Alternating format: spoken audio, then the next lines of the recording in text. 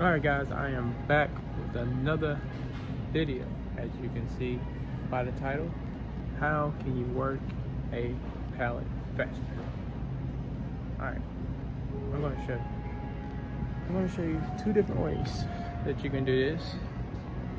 I have two pallets here.